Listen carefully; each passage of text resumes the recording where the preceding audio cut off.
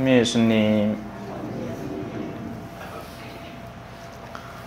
오늘 고린토에서는 불륜이라는 단어가 나옵니다. 이 고린토서에서 말하는 불륜의 핵심을 잘 짚어내려면 이게 과연 무엇을 두고 하는 말인지를 올바로 생각해야 됩니다. 그렇지 않으면 우리는 당장 이 단어, 불륜이라는 단어를 들으면 남녀 사이의 관계에서 일어나는 그릇된 사건을 1차적으로 떠올리기 때문이죠. 마치 콜라를 맨날 먹는 아이에게 엄마가 커피를 떠올리면서 검은 물 하면 그 애는 당장 내가 콜라 먹는다고 뭐라고 하려고 하나 하는 두려움부터 사로잡히는 것하고 비슷합니다. 사람은 자기가 늘 몸담고 있고 생각하고 있는 데부터 생각을 시작하기 때문에 그렇죠. 사실 성경의 대부분의 영역에서도 같은 일이 벌어집니다.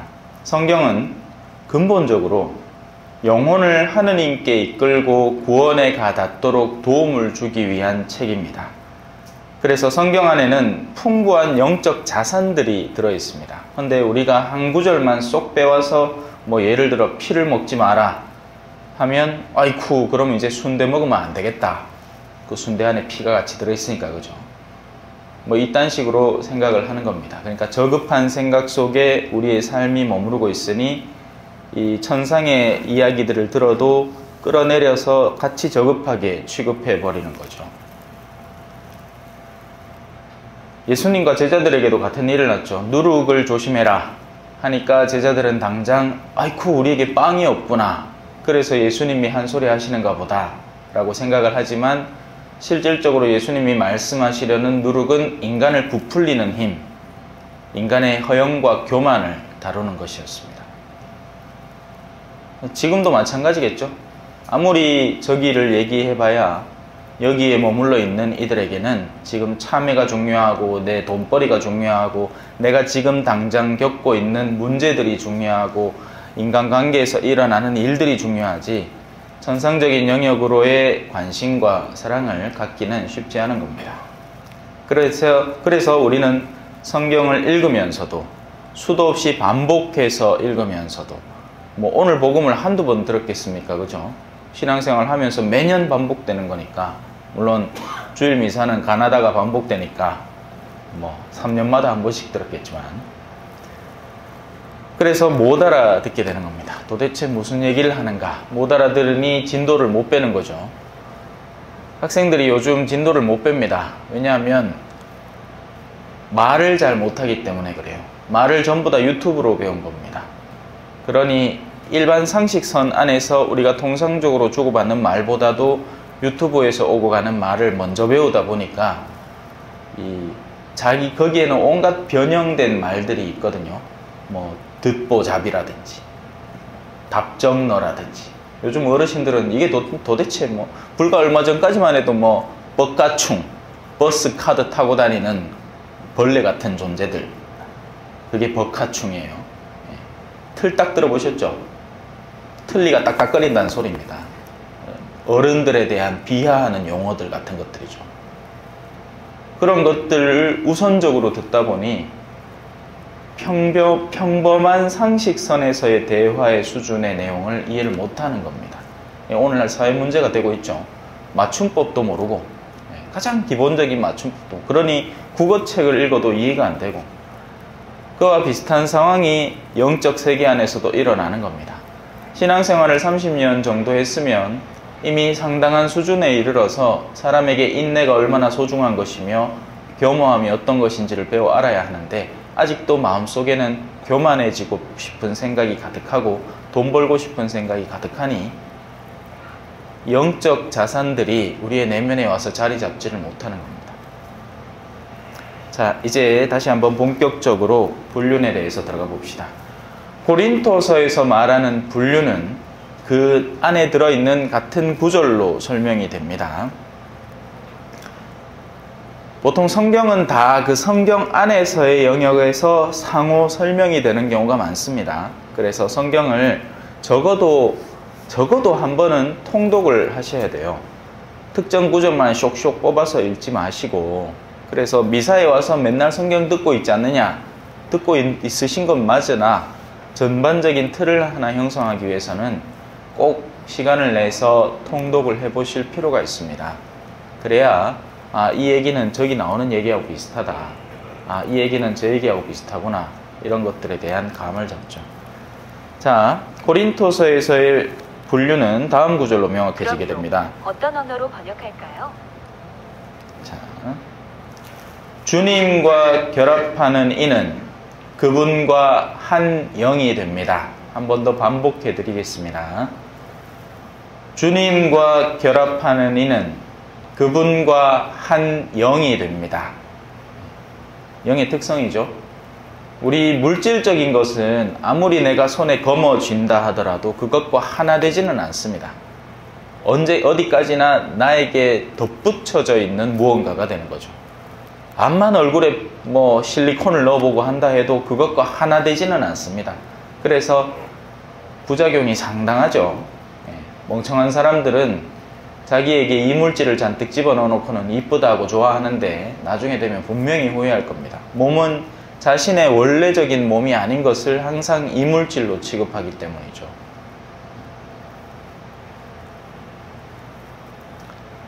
주님과 결합하는 이는 그분과 한 영이 됩니다. 영은 결합하는 순간 그와 나 사이에 경계가 없게 됩니다. 그게 영의 특성이에요. 그래서 우리는 성령을 받아들여야 하는 것이고 또 그 반대는 어떻죠? 더러운 영이 들어오면 이 사람이 그 사람인지 더러운 영이 지금 이러고 있는지에 대한 식별이 쉽지 않습니다. 그래서 현대과학은 그걸 정신병으로 치부해버리려고 애를 쓰죠. 해결책은 별로 없습니다. 영적인 해결책이 필요한 거지. 어디 가갖고 사주 잘못 보고 와가지고는 거기서 더러운 영을 붙여왔는데 그날로부터 정신적으로 이상한 증세를 보이는데 그게 순수 정신적인 일일 것이냐? 아니겠죠. 고린토에서에서 말하는 불륜이라는 것의 본질은 이겁니다. 주님과의 관계를 내버려 두고 다른 것을 탐하는 상태를 불륜이라고 합니다. 그러면 우리는 사실상 많은 경우에 불륜에 빠지고 있다고 봐도 되겠죠. 불륜이라는 것이 꼭 자기 남편이나 아내를 두고 다른 여자하고 어? 호텔방에 들어가야만 불륜이 되는 것이 아니라 하느님을 버려두고 다른 것을 탐하는 모든 영혼들이 빠지는 죄를 불륜이라고 하는 겁니다. 그리고 이런 종류의 불륜은 여러 종류가 있을 터인데, 자, 하느님에게서 멀어지는 영혼은 그러면 그 결과로 어떤 행위들을 하게 되느냐? 그리고 그 가운데 하나가 하느님께서 맺어주신 배우자를 내팽개치고 다른 이성을 탐하기 시작하는 행동까지도 최종적으로는 포함되는 거죠. 하지만 뭐예요? 근본 원인은 하느님에게서 벗어나고 나는 것입니다. 그 결과가 남녀 사이의 실질적인 불타오르는 불륜으로 귀결되는 거죠. 그래서 이 하느님과의 결별의 불륜은 꼭 남녀 사이의 불륜으로만 귀착되라는 법은 없습니다. 사제도 불륜을 할 수 있어요. 안 그렇겠습니까? 그죠? 사제가 하느님과 결별을 하기 시작할 때 저는 항상 그렇게 성찰을 하고 식별을 합니다. 누군가에게 문제가 생겼다. 어떤 신부님이 뭐 환속을 했다. 그러면 우린 당장에 이렇게 추, 이, 추상합니다. 이 상상을 하죠. 여자 문제다. 근데 그게 아닙니다, 여러분. 여자 문제가 일어나기까지는 그 사제의 근간에 신앙이 흔들리는 것부터 시작을 하는 겁니다. 하느님과의 사랑에서 뜨겁지를 않고 그분에게서 매달려 있는 그 힘이 부족해지니 마치 배에서 뛰어내린 바다 한가운데 있는 남자처럼 우리 물에 빠진 사람은 뭐라도 잡는다고 표현하죠? 지푸라기라도 잡는 겁니다. 그 가운데서 허우적대면서 잡아대는 것들 가운데 제일 걸리기 쉬운 게 이성인 거죠. 그뿐만이 아닙니다. 나머지도 다 걸려드는 거예요. 그래서 지나친 취미 생활에 빠져든다든지 적당히 즐길 수 있죠. 스포츠를 적당히 즐길 수 있습니다. 골프도 스포츠죠. 그거 자체가 죄는 아닌데 문제는 뭡니까? 하느님에게서 결별한 상태에서 거머지는 행위로 자신의 취미 생활을 하기 시작할 때 중독되어 가기 시작합니다. 머릿속에 그 생각밖에 없습니다. 어떻게 하면 더 재미난 골프를 치고 언제쯤 나는 홀인원을 할까? 그리고 사람 만나서 하는 얘기도 전부 다 그 얘기로 점철되게 됩니다. 그럼 이 사람은 이미 이 첫 번째 관계에서부터 뭐가 뒤틀려지고 있다는 거죠. 부부 사이도 똑같습니다. 남편에게 충실한 아내, 아내에게 충실한 남편은 뭐 잠깐 잠깐 딴 생각을 할 수는 있어도 근본을 해치지는 않습니다. 하지만 거기서부터 뒤틀려 있는 사람, 자기 회사에서 비서에게 넘어간 남자는 모든 영역에서 문제와 이 그걸 드러내죠. 막 짜증 부리. 전에 같으면 그냥 덤덤하게 받아들일 일을 어느 순간에서부터가 갑자기 막 기분 나쁘다 하고 짜증 내고 하는 것은 뭔가 마음속에 어떤 지점에서 뒤틀려 있기 때문에 그런 겁니다.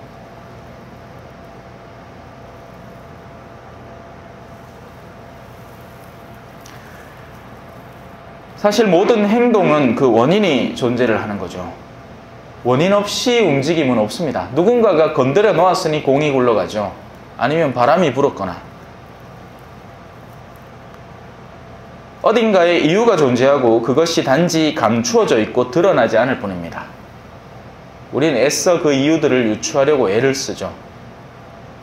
현대에 빚어지는 수많은 일들 속에는 인간의 내면의 상태가 존재하고 영혼의 활동이 존재합니다. 우리는 신앙인으로서 이 원인에 집중해야 됩니다. 그래서 그 원인을 미리미리 살피면 일이 언제 어떻게 잘못될지를 볼 수 있습니다. 당연하겠죠? 참외에서 줄기가 잘못되거나 뿌리가 잘못되면 어떤 일이 벌어지는지 참여하는 사람은 당장 알아챕니다. 아, 이거는 허벗다. 야는 벌써 막 갔다. 뿌리가 이, 이, 이 꼬라진데 나중에 뭐가 돼? 지금은 시퍼렇게 줄기가 어, 있고 열매가 들러붙어 있지만 이미 상해버린 뿌리 때문에 야는 더 이상 여기 이대로 유지 못한다. 이 썩어서 오히려 야, 야가 썩기 때문에 주변까지도 그 썩음에 반응을 해서 연쇄작용이 일어날 수도 있다. 미리 읽어낼 수 있잖아요. 이거 누가 못합니까? 그죠? 그런데 현대에는 사람들이 이걸 잘 못합니다. 눈앞에 있는 이득에 집착을 해서 내 가족이 파괴되는 걸 모르고 자녀들이 점점 냉담하고 신앙에서 멀어지고 있어서 훗날 나에게 다가올 결과조차도 가늠을 못하는 거죠. 일단 돈 잘 벌고 세속안에서 성공하고 있으니 그걸로 됐다. 된 거예요? 아니란 말이에요. 가슴 시린 경험을 예비하고 있는 겁니다. 눈에 뻔히 보이는 일들을 미리미리 예견하지 못하고 있는 어리석음에 어리석음을 저지르고 있는 거죠. 자, 그래서 우리가 마음을 열어서 거룩한 영, 위로부터 오는 영, 성령을 받아들이려고 하면 그분께 다가갈 수 있는 활동, 그분께 다가가는데 도움을 주는 여러 가지 활동들에 나를 조금씩 힘들지만 성령께 마음을 여는 건 힘든 일이거든요. 세상에는 마음이 절로 열립니다. 그죠? 누가 천만 원 준다 하면 거기에 마음 안 열린 사람이 누가 있겠어요? 그죠? 근데 거룩한 일에는 우리가 애를 써야 하는 겁니다. 왜냐하면 거룩함은 예수님은 우리에게 그 거룩함을 십자가로 드러냈으니 십자가의 삶을 사는 초대는 내가 그리로 다가서겠다고 늘 결심을 다지고 되새기고 마음을 새롭게 하고 실천을 해야만 하는 일인 거죠. 그래서 미사 나오는 게 쉽지 않은 겁니다. 신앙이 없는 이들에게 말이죠. 물론 여기는 이제 습관이 돼서 안 나오면 안 나오면 뭔가 찜찜한 느낌이 드는 거고 미사를 안 나오던 이가 나오려고 하는 것, 미사를 나오려고 하는 것과 영화를 한 편 보러 가는 그 영, 내가 지금까지 영화를 안 봤어요. 근데 영화를 한 편 보러 가는 건 크게 마음에 걸리지 않습니다. 근데 미사를 갑자기 나오라 한다. 냉담자에게. 그러면 싫은 느낌이 너무 강하게 드는 거죠. 그래서 우리가 그런 활동들에 열중할 때 성령을 받아들일 때 우리는 성령의 친구가 되고 나보다 힘센 사람이 내 안에 들어오기 때문에 차를 운전하는 게 누구냐에 따라서 그 차의 운전 실력이 확확 바뀌지 않습니까? 보통은 자매님들한테 차 운전을 맡겨놓으면 개판을 만들어 놓습니다. 왜? 엔진 오일을 이 10만 킬로를 타는데도 한 두, 한 번도 안 가라. 그러면 막 나중에 엔진 열어보면 오일이 시커멓습니다. 예, 관리라는 걸 일절 안 하죠.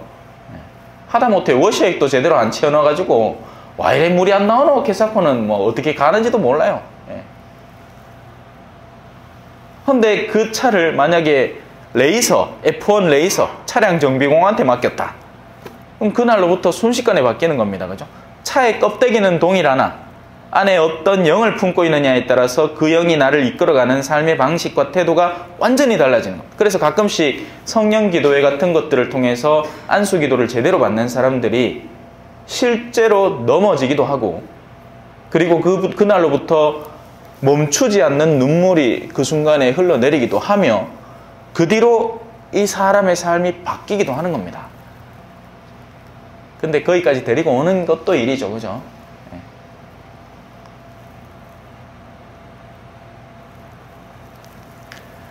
자, 그렇게 성령에 대한 이야기는 우리를 벅차게 만들죠. 물론 저 혼자 벅찬지는 모르겠지만. 근데 그 반대라면 어떨까요? 성령이 들어올 수 있으면 더러운 영도 들어올 수 있단 말입니다. 그리고 성경은 그걸 꾸준히 언급하고 있죠. 예수님은 수많은 마귀를 쫓아내야만 했습니다. 사람의 내면 속에 깃들어 있는 수많은 더러운 영들이 존재하기 때문에 그렇죠. 그들이 우리 안에 들어오면 우리는 그들의 종이 되어버리고 맙니다. 근데 종이 되었다는 것도 인지하지 못해요. 술 마시는 사람이 언제 자기는 술의 종이라고 얘기하는 거 보셨습니까? 아닙니다. 아, 아 내다 한다! 내, 이거, 내, 내, 마음만 먹어봐. 내일부터라도 당장 끊을 수 있다! 하면서 마시고 있죠? 종입니다, 종. 철두철미한 노예예요. 절대 못 끊습니다. 거룩한 분의 의지가 개입되어서 그를 건드려주지 않는 이상은 자, 더러운 영이 우리보다 얼마나 똑똑할 것이며 우리보다 얼마나 더 강한 의지로 우리를 몰아댈까요? 탐욕에 사로잡힌 사람도 마찬가지입니다. 자기 스스로는 그 족쇄를 절대로 못 풉니다. 끊임없이 눈만 뜨면 마치 우리 저는 당구를 쳐본 적이 별로 없거든요. 심지어 저희 집이 옛날엔 당구장까지도 했어요. 근데 저는 당구에는 취미가 붙은 적이 없습니다.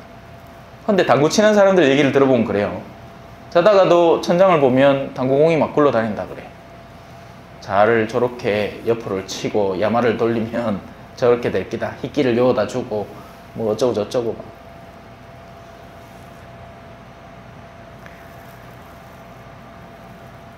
탐욕이라는 것에 사로잡힌 사람은 그것에 사로잡혀 있는지 아닌지에 대한 원인이 불분명해지기 때문에 내면 깊은 곳에서 일어나는 일이기 때문에 가장 가까운 사람도 금방 쉽게 알아채지 못합니다.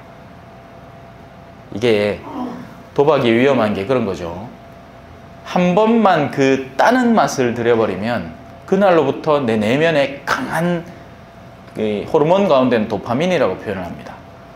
어떤 성취감을 강하게 느낄 때 거기에서 만족감을 일으키는 호르몬 활동이 시작되는 겁니다.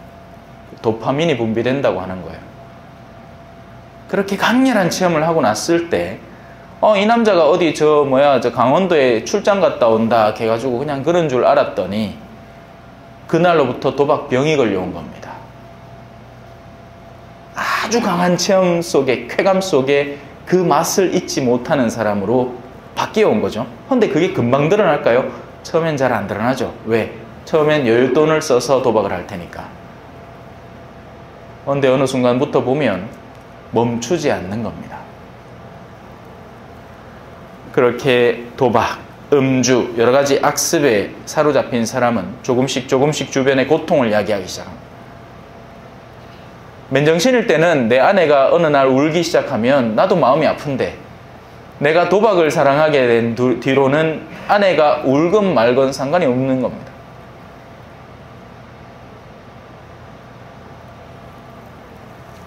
세상 사람들은 비록 지금 인지하지 못하고 있지만 주술이나 점술에 기대는 행위, 타로 카드, 사주, 운세를 보는 것 모든 것들이 영적인 영역과 기민하게 관계를 맺고 있습니다. 바로 그 통로를 통해서 우리 안에 들어오는 거죠. 이는 가장 근본에 존재하는 영혼에게 빈틈을 허락하는 행위고 바로 그 빈틈을 통해서 더러운 영들이 들어오는 가장 훌륭한 수단이 되는 겁니다. 가톨릭 신자가 하느님을 믿는다는 사람이 자기 발로 사주를 보러 올해 운세는 어떨까 점을 보러 우리 아들 결혼하는데 어떻게 둘이 사주가 맞나 찾아가는 것은 알아서 그 집안의 불운을 끌고 들어오는 것이나 마찬가지입니다. 그리고 그 결과는 나중에 되어서 나타나겠죠. 자녀 때 나타나면 그나마 다행이겠어요. 손주 때 나타나기도 합니다.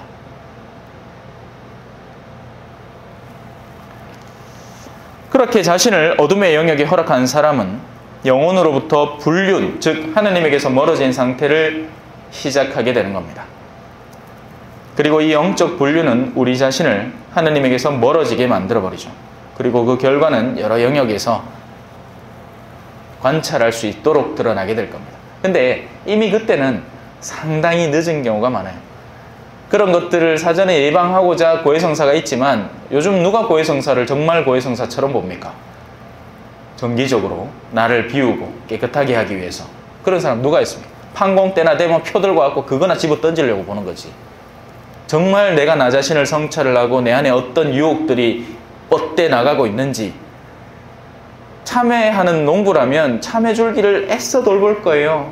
혹시나 뭐나 있으면 잘라주고 뭐 입이나 따주고 뭐 집에 쪼매난 거라도 하나 키우마 정성을 들여서 돌볼 겁니다.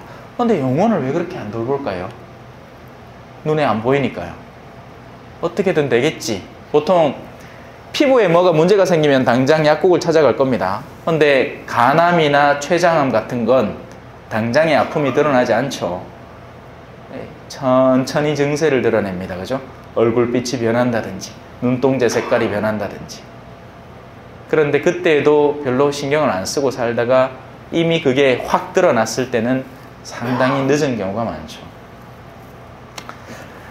자, 그럼에도 우리에게는 여전히 희망이 있습니다. 그런 답 없는 우리를 구하시기 위해서 하느님이 당신의 외아들이라는 값을 치르고 대속이라고 합니다. 우리를 구원해 줄 의도를 갖고 계시기 때문입니다. 아니요, 실행하고 계시죠. 문제는 우리가 답만 하면 됩니다.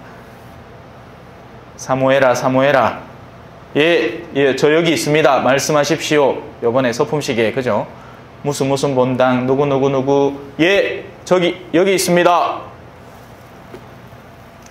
그러니 하느님의 구원에 힘입은 우리는 우리가 가진 가장 훌륭한 도구인 우리의 몸으로 하느님을 영광스럽게 하는 모든 활동에 참여하도록 애를 써야 하겠습니다. 아멘.